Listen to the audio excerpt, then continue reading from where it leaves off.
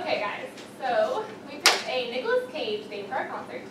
Uh, a little weird, but whatever, we're just gonna go with it.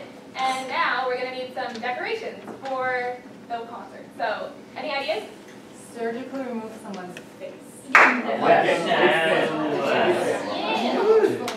Print out a bunch of memes. No. No, Funny! funny! Also a great idea. We could hang up the Declaration of Independence. Oh. That's Okay, okay, yes, we're gonna go with that. But how are we gonna get it? There's a whole of lines written about freedom in the Declaration. There's one line at the heart of all the rest. When a train of abuses and usurpations, inevitably pursuing the same object, evinces a design to throw off these usurpations and make absolute despotism. It is their right, it is their duty, to throw off such government and secure new safeguards for their freedom. Beautiful, huh? We have no idea what you're talking about. It means when something is wrong, those with the ability to take action, have the responsibility to take action. I'm gonna steal it. I'm gonna steal the Declaration of Okay, you said that really funny, but we're still gonna do it. So, yeah, any volunteers? I'm gonna I steal volunteer. it. More the merrier. Thank you guys for volunteering. And just know that you are going to embark on a perilous quest and face three difficult tasks that may cost you your lives. Are you willing to risk your lives for the sake of your a cappella group? Go volunteers.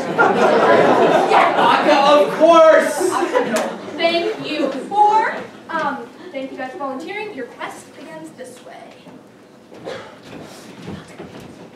And so our four brave adventurers embarked on their perilous quest to steal the Declaration. For their first task, they entered a dark room full of statues that sometimes attacked when provoked, and sometimes when unprovoked.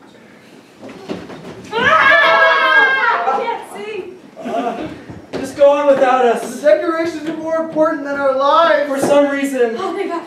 Ah, Oh no, the patriarchy. ah. Alright, let's keep going. Having outsmarted the statues for their second task, our two remaining adventurers needed to outwit a majestic but wily sphinx. A riddle. First, think of the person who lives in disguise, who deals in secrets and tells not but lies. Next, tell me what's always the last thing to mend, the middle of middle and end of the end. And finally, give me the sound often heard during the search for a hard to find word. Now string them together and answer me this. Which creature would you be unwilling to kiss? Probably that narrator smells fun.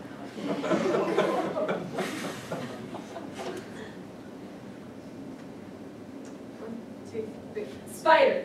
Ah. Ten points to Hufflepuff. Yes.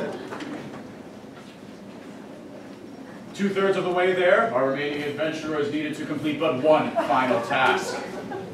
They entered a room equipped with lasers that only the most acrobatic among us could ever traverse without facing certain and instantaneous death.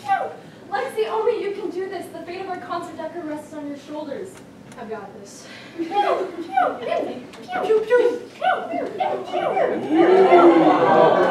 right,